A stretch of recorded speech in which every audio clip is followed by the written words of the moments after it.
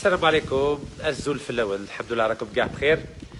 donc راكم تشوفوا مازلت تحت إقامة جبريه في الدوار القاغزة في مدينة عين مران في ولاية شلف. بصح ما رانيش وحدي تحت إقامة جبريه اليوم. الشعب الجزائري complet 40 مليون جزائريين راهم تحت إقامة جبريه غير قانونية. سمعتوا واش قال اليوم النائب وزير الدفاع سي قايد صلاح قال لهم باللي لازم تطبقوا المادة 102 تاع الدستور الجزائري. يعني على بالكم باللي هذا النظام راه يعاود واش دار في 91 على بالكم باللي نهار 26 ديسمبر 91 كانوا انتخابات تشريعيه والحزب الفيس هو اللي داها سمعوا مليح 26 ديسمبر. واليوم 26 مارس. ومن بعد واش صرا؟ donc حبسوا الانتخابات. ومن بعد le 11 11 جونفيي 11 جونفيي واش داروا العسكر خرج الرئيس شاذلي بن جديد اللي كان بصحته ما كان لا باس به كان لا مده 130 لا والو. ووقتاش حبسوا الانتخابات هنا في البلاد؟ 11 مارس. نعاودها لكم. 26 11 واليوم كيف كيف؟ حبسوا الانتخابات 11 مارس وخرجوا يخرجوا الرئيس 26 مارس. يعني هذا النظام كيشوف باللي ما يقدرش يربح انتخابات يبدأ يزيكزاكي يبدأ يدير في الانقلاب أو انقلاب عسكري أو انقلاب دستوري أو انقلاب سياسي. يا جماعة يا جماعة. بل 2015 وأنا نقول باللي هذا الرئيس مات سياسيا. بل 2016 نقول لكم باللي هذا مات الله يرحمه. وقالوا لي بلي نشكو بيه قلت له شكو بيا ديروا لي الحبس ديروا واش تبغوا أنا هذا الرئيس مات الرئيس ما هضرش مع الشعب تاعو. من 8 ماي 2012 باينة باللي ميت. حتى شافوا باللي ما يقدروش يربحوا هذو الانتخابات بداو يعلموا قدام الشعب الجزائري وقدام العالم باللي دوكا الرئيس راه ما يقدرش يسير البلاد وبال 2015 أنا ما هضرتوش 2016 2017 2018 2019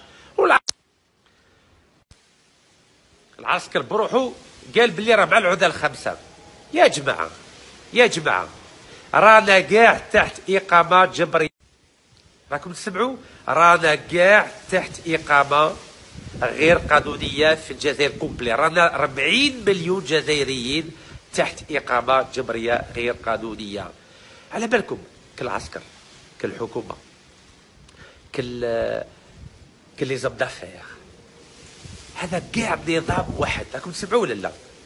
ماشي كيما الجنود لازم نديروا فرق بين الجنود يعطيهم الصحه وبارك الله فيهم اللي راهم يحموا في الحدود.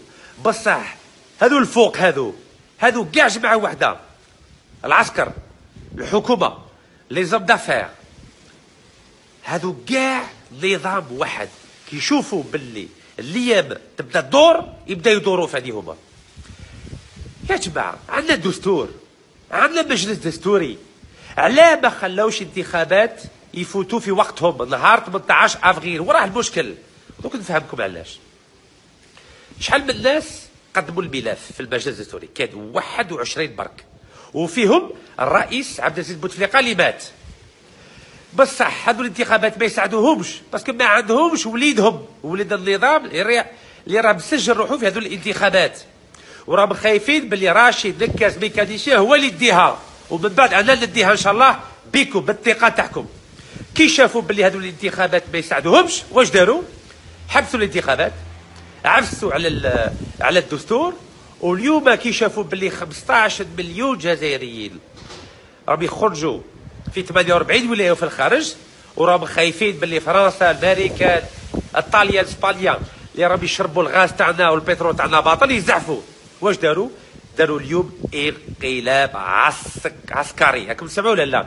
اليوم انقلاب عسكري كما صرا نهار 11 جونفيي 1992 يعني الجيش كي يشوف باللي سافا با يبدا يتقلق. يبدا يدير في الانقلاب. إحنا نحترموا الجنود ويعطيهم الصحه بصح ما نحترموش الناس اللي يلعبوا بالدستور الجزائري واللي دخلوا المجلس الدستوري في المتحف.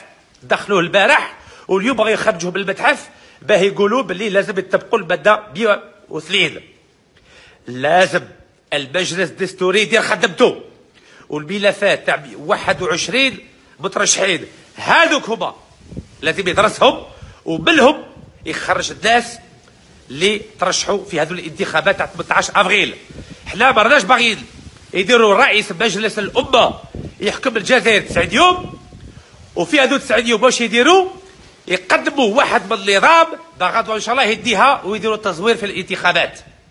حنايا نبقاو قانونيين نبقاو دستوريين نبقاو ديمقراطيين ونبقاو حضاريين. ما راناش باغيين باللي أي مرة يشوفوا باللي هذا النظام يقدرش يربح يبدأ يعفس على الدستور ويبدأ يدخل المجلس الدستوري في المتحف. يا جماعة يا الشعب الجزائري ما تخلوش هذا النظام يكسر ويكسر الروح الدستورية تاع بلادنا.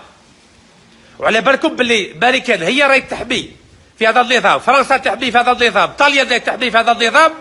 وإسبانيا راهي تحمي في هذا النظام. على الحق.